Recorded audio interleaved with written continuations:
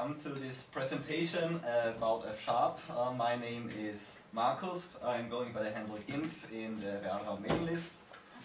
And I want to give you a short introduction um, on F Sharp, on the language, how it looks like, and a few of the special points of F Sharp. And, oh, okay, it works. Um, why F Sharp at all? Um, why did I start? I am a .NET developer uh, by profession and I had uh, some problem with C Sharp. It means you have to type all the names of the classes and types all the time. And this is especially not very convenient when you start writing asynchronous code where you are using the task uh, uh parallel library which is always a generic type and then you return a generic type like a list. And yeah, so you start typing things all over again, and I disliked it. Also, I like uh, I, I like very long names, do this and that, and abbreviations are out, for a very simple reason that I like code to be readable. And now, if somebody does not like to type that much and does not want to abbreviate anything, then, well, you get uh, slightly in a conflict. The next thing why I did F Sharp because, well, as I said at the beginning, I am a .NET developer. Um, .NET is a platform, this is, um, well, fixed. And so the options are limited to languages that can be compiled to .NET. Now, so what is one of the first things uh, that come to mind uh, when you try to type less and still have readable variable names. Um, we know that there are more concise and less concise programming languages. Um, basically, you want a type system that helps you where it is possible, and you want to be that functional composition, so comp uh, composing of functions out of each other is simple with little typing. Not like in Java. In Java, everything can be composed if you write an interface and then write an abstract class and then write a class and then write a factory and then write a proxy and that's not the way to do it.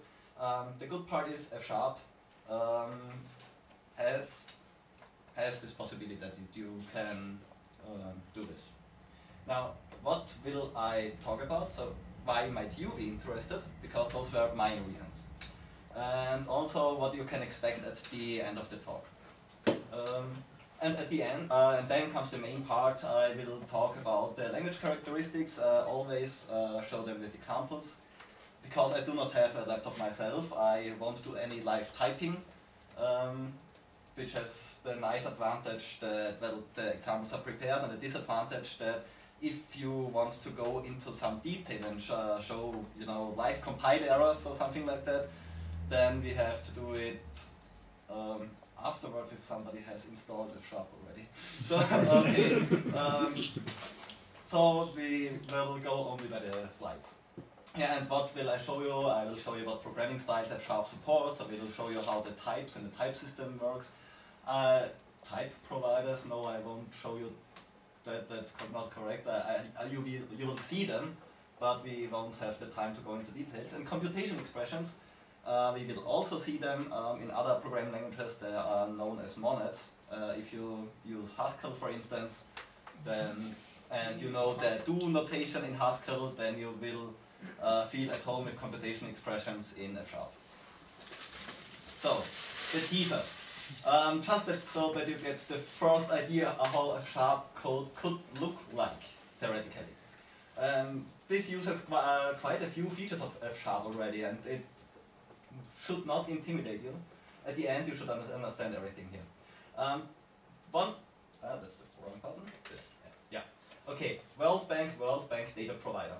Um, what is this? This is um, quite a nice library which um, can connect to the online service of the World Bank and which downloads the schema of the data that is there um, at compile time, by the way and then generates the types that uh, represent the schema so that you have static types throughout everything. And then you can Then have the static type, which has um, all this data schema in F-sharp types, and you can say, get the data context, and then you can download, filter, and search all this data. And yes, this really does at compile time look up an online service and generate types. Which is quite cool. Um, so this is, for instance, an example why many people say, okay, F-sharp is especially interesting if you're into statistics, if you're into data analysis. This is also the reason why we have data providers for R. The R scripting language or R statistical computing language you may know, uh, which is quite often used in data analysis. Um, F-sharp provides a data provider so that you can plug into the R virtual machine and then can exchange data between R and F-sharp and the idea would be that you know, data analysis in R there exists already many libraries. F-sharp is a real full-scale programming language with all the um, libraries of .NET. And so you can bring them together through these data providers.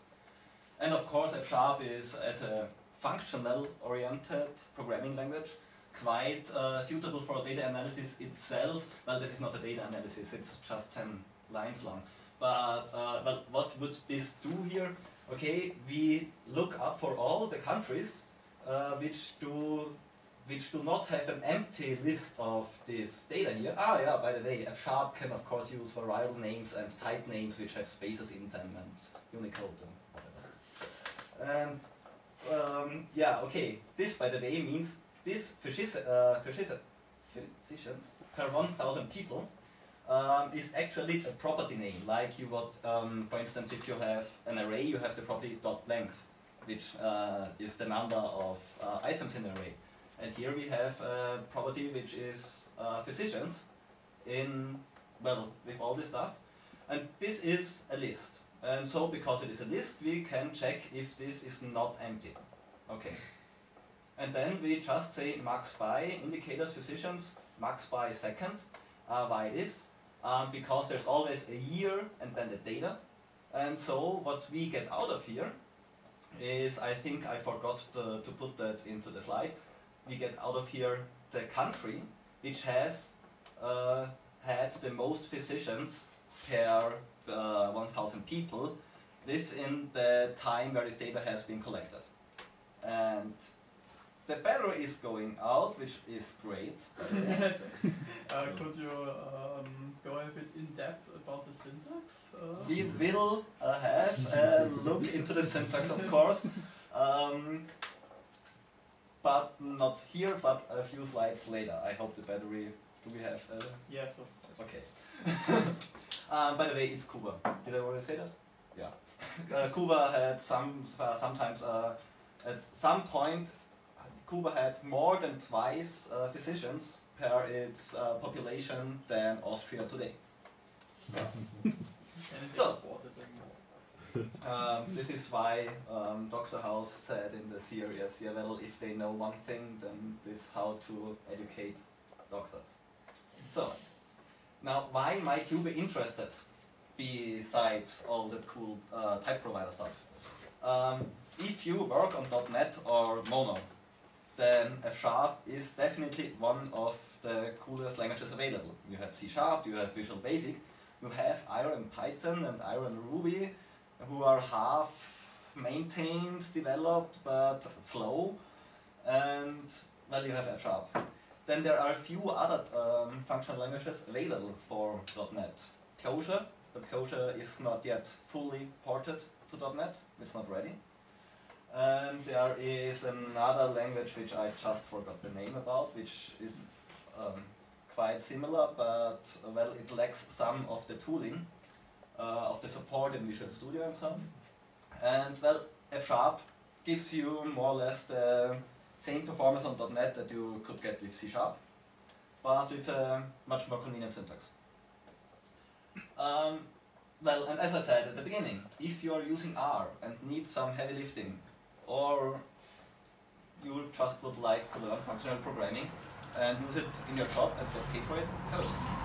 Um, then it's also a great language because, well, um, Java is so bad that people are used to use other languages in Java, like JRuby, like Clojure, like Scala. Um, but um, .NET actually um, many people still use what comes with Visual Studio and uh, therefore are not quite um, used how to make a workflow uh, where other languages are used within your build chain, within your tool, tool chain. Now the good part is if you work in a company which uses .NET, um, you probably use Visual Studio and F Sharp is a first class citizen on Visual Studio, so you get uh, full support, it's developed by Microsoft and that's convenient. Yeah. So, of course I know that all the PR members, um, well, neither work on .NET nor Mono, no. so if you have Haskell, then you use Haskell, of course. Um, yeah. Which is also or Erlang. Yeah. I always forget about Erlang. Um, yeah, and actually the uh, preconditions you should met before uh, we continue are quite simple. You should have some programming experience. So you understand how to write a program. Um, and you should know that functional programming exists. Um, you do not need, really already need to understand functional programming um, because I will explain the basics when I have to explain the syntax anyways. Because I cannot show, show currying without showing the syntax and not, when I show the syntax, well, you will see what it does. Um, yeah, and at the end, you know how it looks like. You will probably be read to write uh, to uh, be able to read most of the F sharp code that is around there. We cannot do everything today. Uh, many of the advanced topics we only well have a look at it and we see that they, they exist, but that's it mostly. But it should uh, suffice for most parts. And if you are one of those who um, use .NET and the company, you should uh, at the end have an idea if it's um, really um, interesting enough to um, learn more about it. Now, five minute syntax. I promise you that in five minutes, uh, about 300 seconds will be over, and but we will continue beyond Hello World. Hello World, well, it, it's really that. It, it's, it's nothing more. It's printfn Hello World, uh, printfn is uh, the name of a function. Um, this n, there is a printf function which does not end with a new line, a printfn which automatically appends a new line. And hello world, you see the string is, um, well, like in almost all other programming languages. And, well, you also see there is no semicolon at the end. There is no opening parenthesis.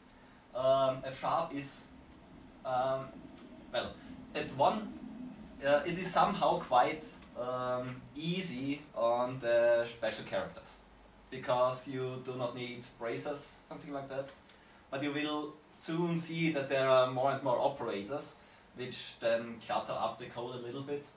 Uh, but basically, if you want to write a simple, readable F sharp, you can go by with a minimum amount of um, special characters.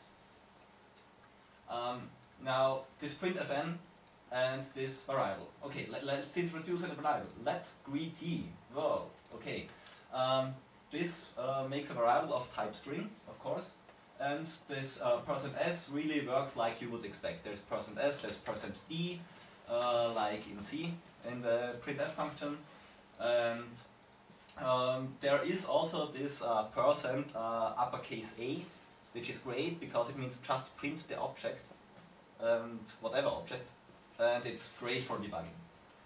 Especially, I totally forget to put this in slides. F Sharp does have an interactive mode, like uh, REPL on Lisp, like uh, the Python shell. On F Sharp you have F Sharp Interactive, so you really can sit there and type stuff. Or within Visual Studio you mark some code and press um, Alt plus Enter and then it's sent to the interactive window. And well, this means you can get code easily into an interactive session to try it out. And this of course means that quite often you want to look at the data structures without going into the debugger and so uh, things and then you can um, just print with percent uppercase A and you see the content. So you actually have some kind of class-based object orientation and can overload, for example, a ToString method or something like this? Yes. Okay. F Sharp is still .NET. Okay. It compiles to IL, intermediate language, which is .NET. And therefore, um, the type system is the .NET type system. Um, it's only on the language level, on the compiler